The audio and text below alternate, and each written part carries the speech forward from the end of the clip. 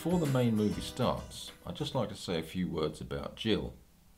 We met in the late 1980s and then fished together for several seasons on the rivers Teme and Severn.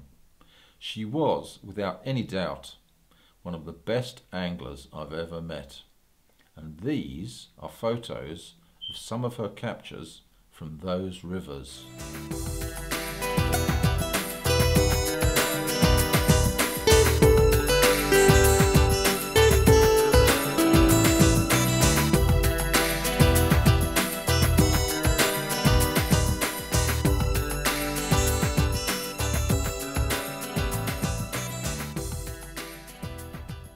Not only did Jill and I fish together, but we built fishing rods together with the brand name of Sear. Now her rod finishing skills were second to none, and many people, including myself, are still using the rods that she built today. In the following movie, Jill describes very capably how to build a fishing rod at home and also how to make a few repairs. Enjoy.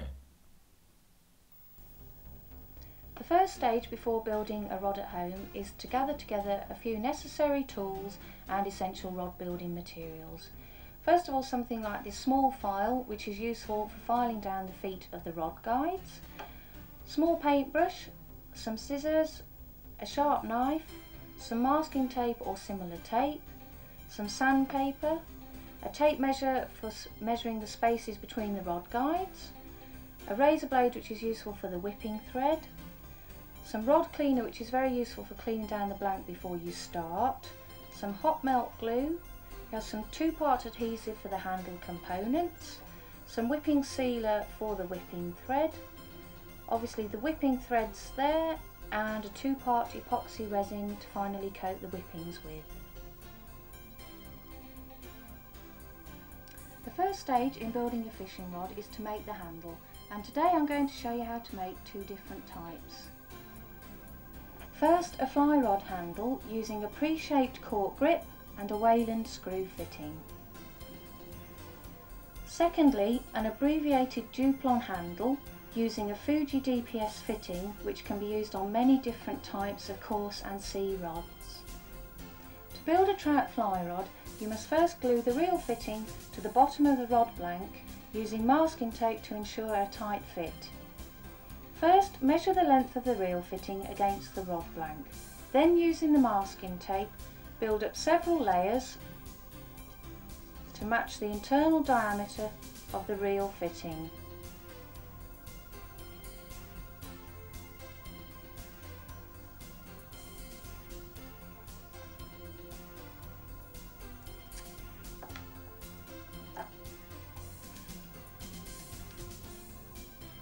This is still too loose so I need to build up a few more layers to make a tighter fit.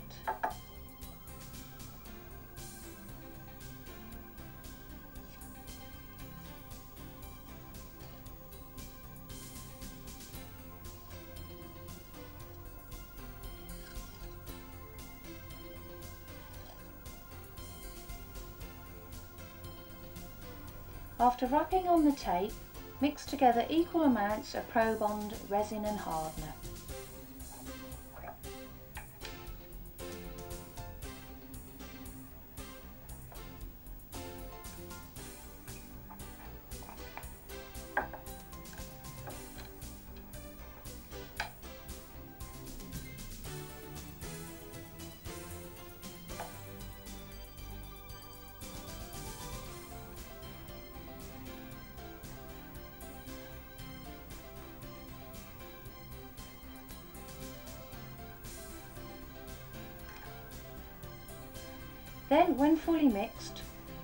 The blank and the masking tape and then slide on the reel fitting.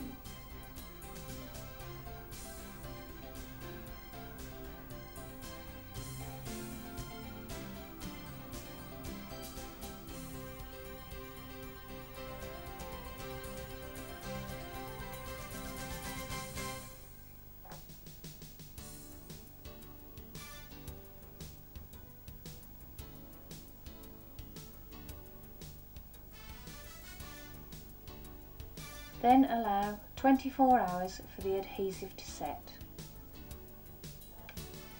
The reel fitting is now glued securely and it is now time to glue on the pre-shaped cork grip.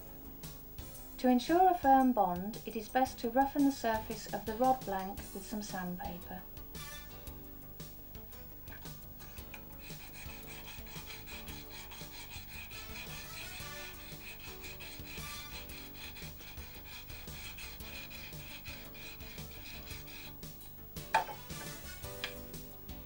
When that's done, clean off the dust with a bit of cloth.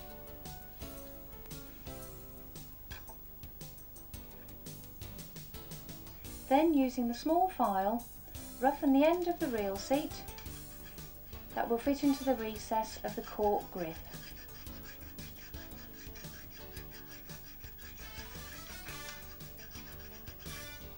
A quick wipe with the cloth it's now time to apply the Pro Bond adhesive to the blank and the end of the reel seat.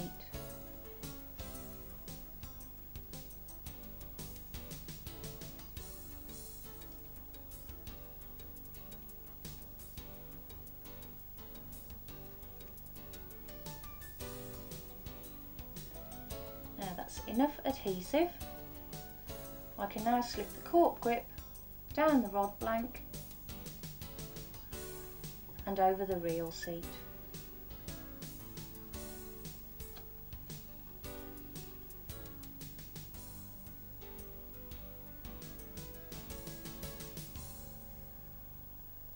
Make sure it's a snug fit and wipe off any excess glue with a cloth.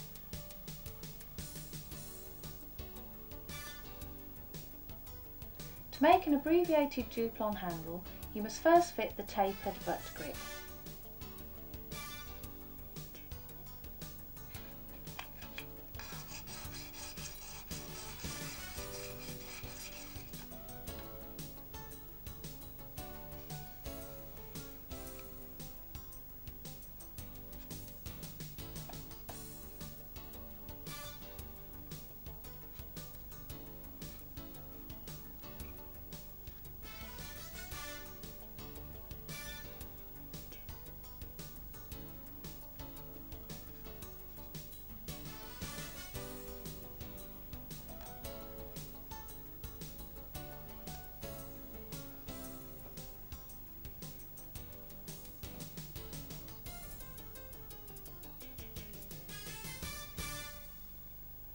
Wipe off any excess glue with a cloth.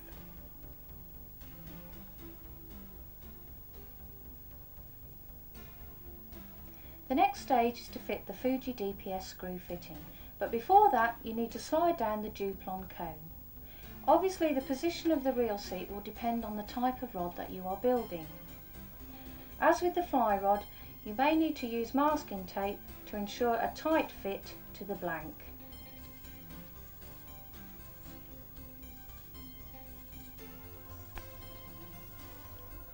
Once you've ensured a tight fit, you can then apply the Pro Bond adhesive.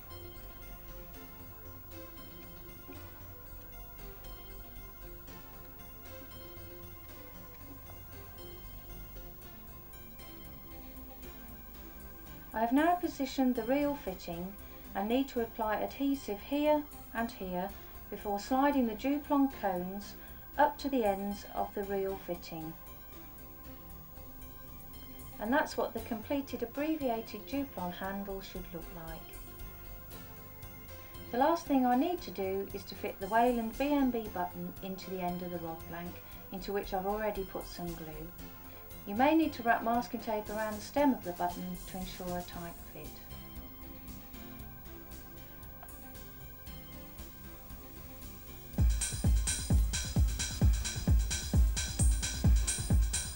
Don't forget, Jill has made just one type of Duplon handle. There is a large range of Wayland and Fuji components available, enabling many different types of rod handles to be made.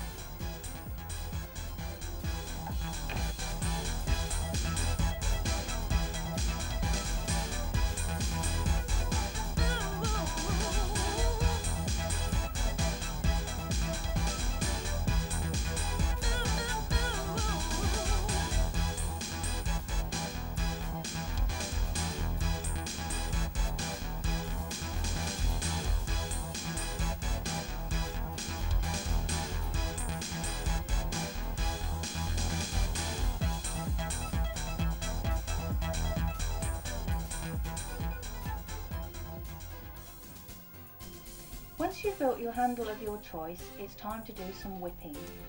You may find it very useful to build some kind of rod supports. Here we've made two using two blocks of wood and a couple of rod rests. The whippings by the rod handle are merely to make the rod look nice.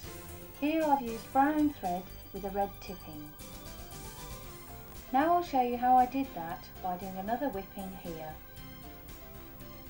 Before you start whipping, you may find it easiest to secure the end of the whipping thread with some masking tape. Then turn the rod, gradually building up several layers of whipping thread.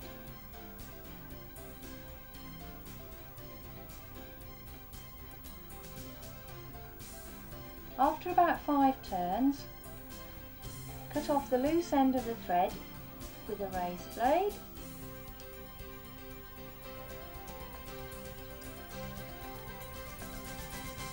discard the tape and the loose end.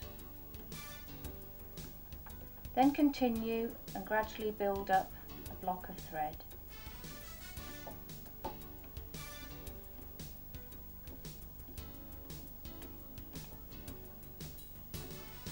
Also remembering to keep the whipping thread quite tight.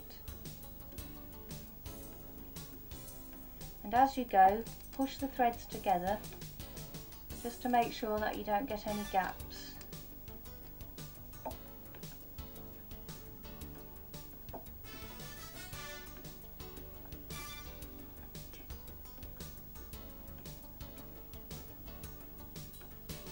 Then about 8 turns from the end of the whipping, take your loop and put it underneath the actual thread and then whip over it.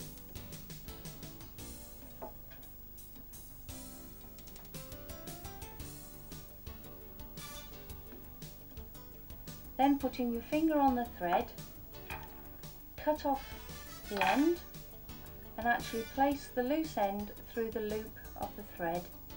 Then pull the loop through nice and tightly. And there you have the finished block of thread.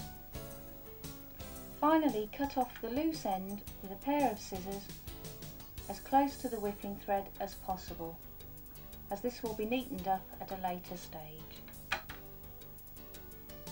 The next stage is to create a coloured tipping which is basically a mini version of the main whipping. The only difference being that you need to start off with the loop of thread straight away.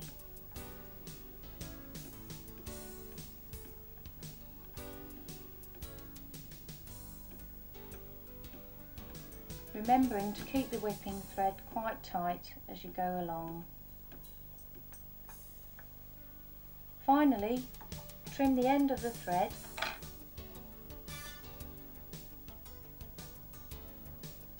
And pull it through the loop, making sure it's nice and tight. This then can be trimmed off with the razor blade.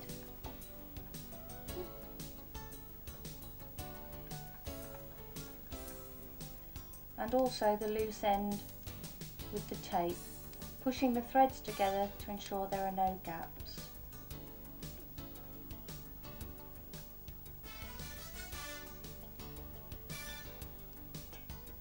Then discard the tape and the loose end. And that's it, finished. Now that I've finished with the Duplon handle, I'll demonstrate how to whip on a Samo keeper ring above the fly handle. You'll notice I've already fitted a Wayland collar. Use masking tape to attach the keeper ring to the blank. Then whip from the collar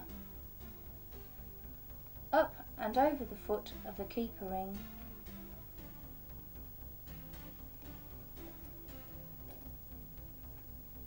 making sure that you keep the thread tight as you go along.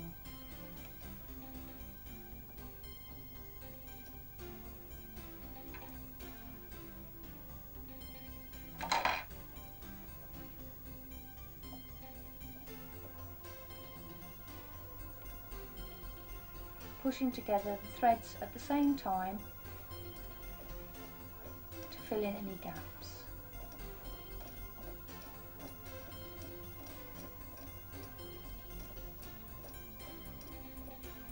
Then finish off with a loop of thread.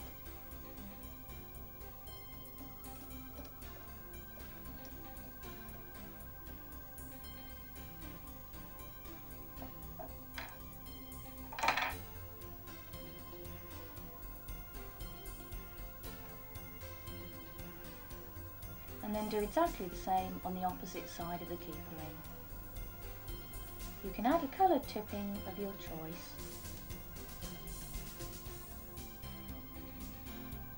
The next whippings you should do are over the male and female ferrules. These are not just cosmetic, they help to strengthen the joints. We recommend ferrule whippings of at least 1 inch on fly rods, 1.5 inches on coarse rods and 2 inches on sea rods. Some powerful casting rods may need ferrule whippings of several inches. It's now time to consider the rings for your hand-built rod. There is an enormous variety available and you should seek advice from your rod blank supplier on the correct type, size and ring spacings for the rod. You'll find advice on the types, sizes and spacings provided on the inside of your video's cover. The first stage in ringing a rod is to glue on the tip ring and you'll need some hot melt glue, a candle, some sandpaper and a small cloth to wipe off any excess glue. First roughen the end of the rod tip with the sandpaper.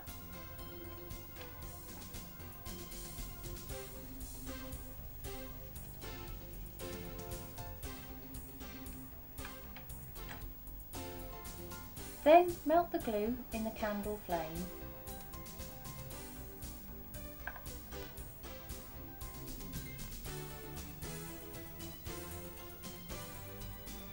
rod tip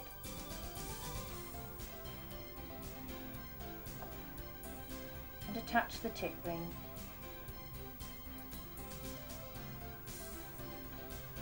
Wipe off any excess glue with the cloth.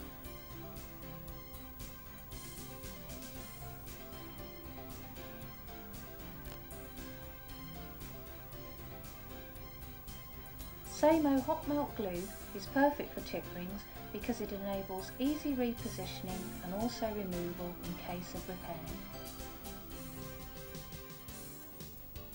I've now gathered together a full set of Fuji silicon carbide rod guides and I've marked their position on the rod blank by using the tape measure and thin strips of masking tape. Before whipping on the guides you may need to file down their feet to enable the whipping thread to build up neatly without any unsightly gaps.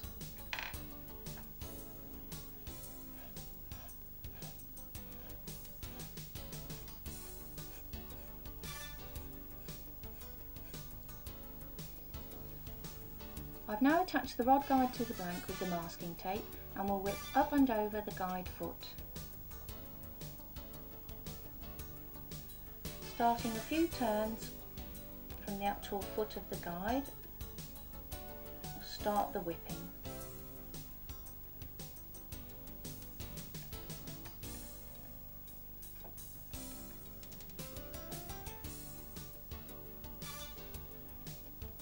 pushing the threads together as you go along to fill in any gaps. Then trim off the loose end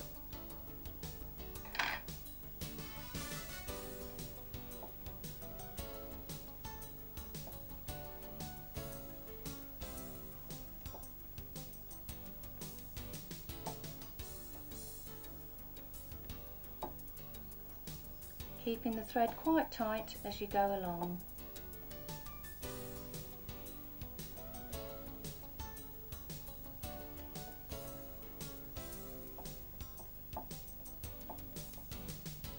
Once you've reached the masking tape, just remove that and carry on whipping to the end of the foot.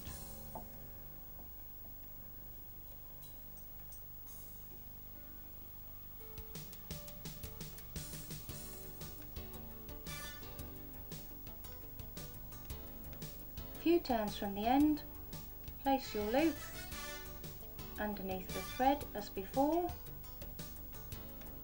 And carry on whipping until the end.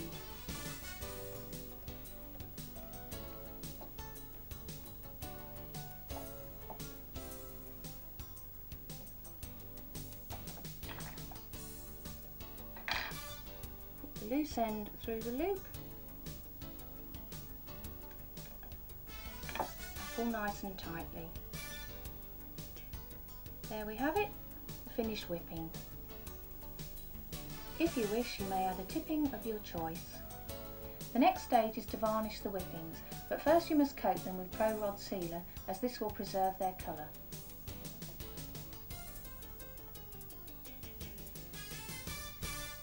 Apply the sealer with the aid of a brush.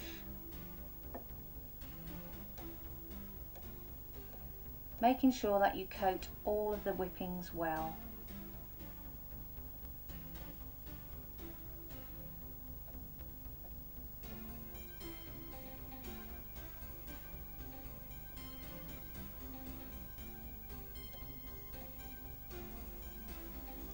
Once the sealer has dried, you can trim off any thread stubs with a very sharp razor blade.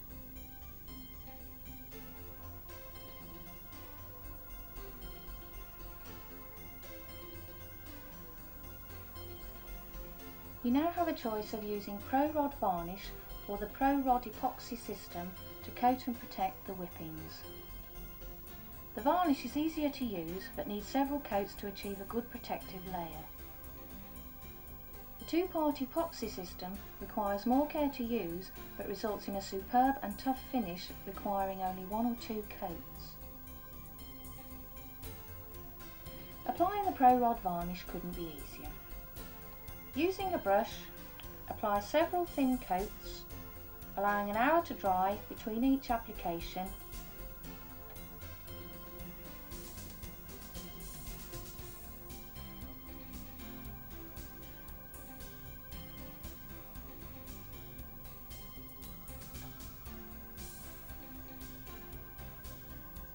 Then clean your brush in water. Most professional rod builders use a two-part epoxy resin system to coat rod whippings and I'd recommend the ProGloss system for home use. In a warm room you must mix the resin and hardener in an equal 50-50 ratio by counting the drops from the nozzles.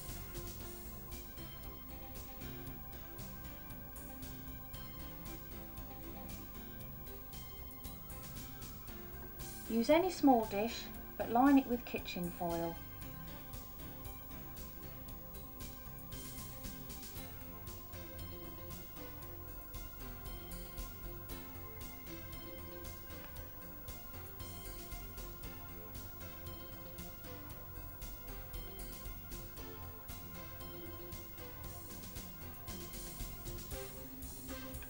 Must be stirred thoroughly.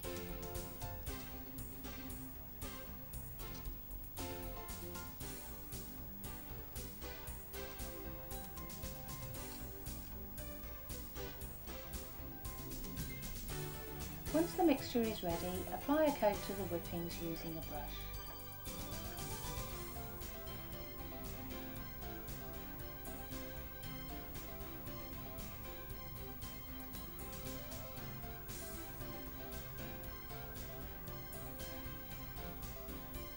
Bear in mind that the mixture may start to harden after several minutes.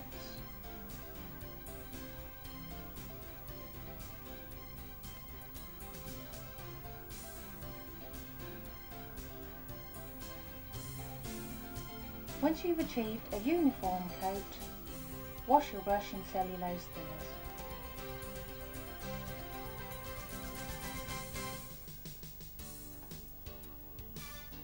The epoxy varnish will take several hours to dry and unless you turn the rod blank 90 degrees every few minutes, during this time the varnish may drip into an unsightly lump. Apply a second coat if needed a day after applying the first one. An alternative to manually turning the rod every few minutes is to rig up a system with a barbecue motor. These can be bought from most garden centres. These motors will turn the rod slowly for several hours.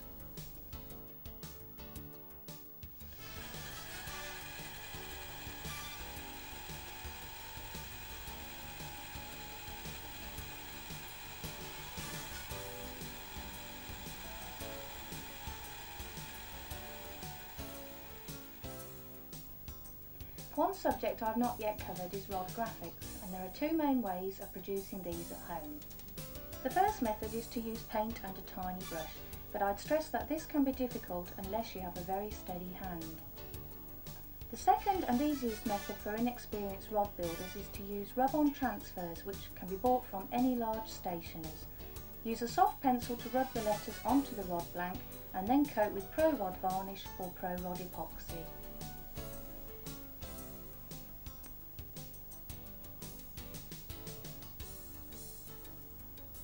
The last subject I want to cover is rod repair. One of the most common that can be tackled at home is to replace a damaged rod ring. Removing a damaged ring can be difficult and potentially dangerous because modern epoxy varnishes can be very tough. Using a sharp knife, cut away the varnish and the whipping from the ring foot.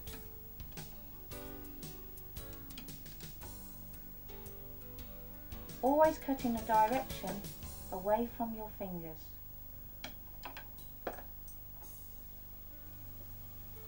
Once you've removed the ring, you can then remove the rest of the varnish and whipping thread and then whip on a new ring as shown earlier. I will now show you how to mend a broken rod blank. You'll need some Pro Bond adhesive, a thin rod, a small piece of tapered carbon that you may be able to get from an old rod or local tackle shop. You'll also need some masking tape and small piece of cloth. First wrap masking tape around the two broken sections. This will prevent them splitting when you glue in the piece of carbon. Smear adhesive on the thicker piece of tapered carbon.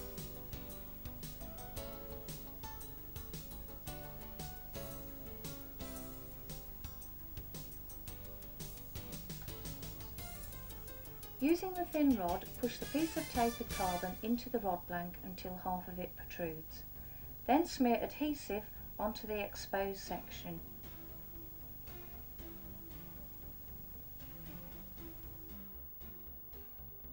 Then push on the other broken piece of rod blank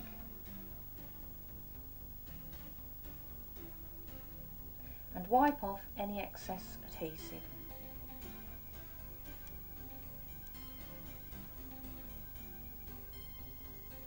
Check that the rings are in line and leave for 24 hours. Once you are certain the adhesive is set, cover the joint in a whipping of at least 3 inches, then varnish or epoxy. The last easy repair I want to show you is how to remove unsightly dents from Duplon. All you do is pour boiling water over it and it resumes its original shape.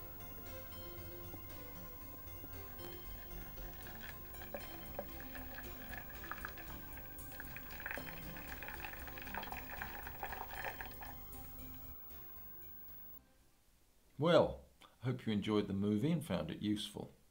You may have noticed that there's no mention of rod ring spacing. That's because when the movie was first released, that information was contained within a video insert. Nowadays, you can get the information from the internet or by visiting your local tackle dealer.